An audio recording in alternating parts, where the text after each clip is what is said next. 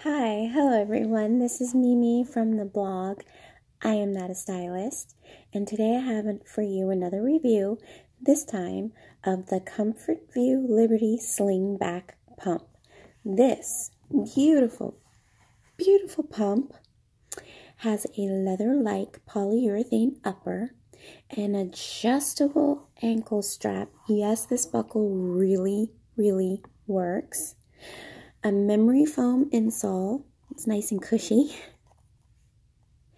And a skid resistant outsole. See, you can tell it's kind of got these lines on it to keep you from sliding around.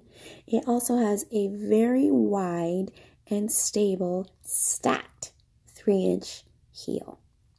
It comes in sizes 7 through 12, medium, wide, and double wide. It is available from several retailers online, including Amazon, at various prices. I ordered my pair of shoes through Amazon in a 7 wide. And as you know, anyone who has a wide foot knows that a very beautiful, comfortable, well fitting, wide width shoe is nearly impossible to find. Some of the problems include the width in the front of the shoe, here through here, not being wide enough, and um, the shoe as a whole being designed for somebody that is very heavy set. Um, basically, a plus size shoe.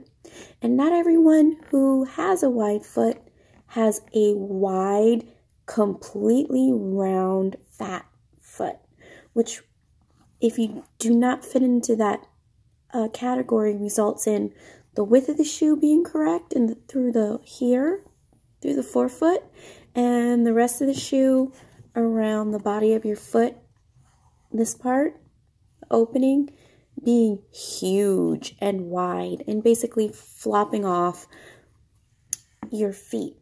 Now, Comfort View shoes are truly wide through the ball of the foot. They're not slightly wide, they're truly, truly wide width. Um, they are also slim through the body of the shoe. They fit me. They don't have a problem with them gaping or being too widely made for the rest of my foot. And because I ordered the sling back, I can adjust it for my regular width heel which is narrow. I actually have a narrow heel from the width of my foot. And I have worn these around my house, and I, they are very comfortable despite the pointy toe. And they don't rub, they don't dig in, they don't flop off my foot. The heel is honestly stable.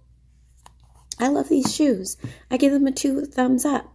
Um, the only thing that I wish was different about them is I wish they were real leather instead of polyurethane. But at the price I paid for them, I'm not complaining. I am not going to be wearing these shoes every day. These are literally going to be special occasion shoes for me. If you like this review, please give me a thumbs up and subscribe to my channel and leave me a comment below for anything that I can do to uh, improve my video quality. I am literally a one take wonder. I'm using a cell phone. I have absolutely no um, editing software. I'm still trying to find one that's easy to use and doesn't take 10,000 years. If you have any suggestions, please give them to me below in the comments section.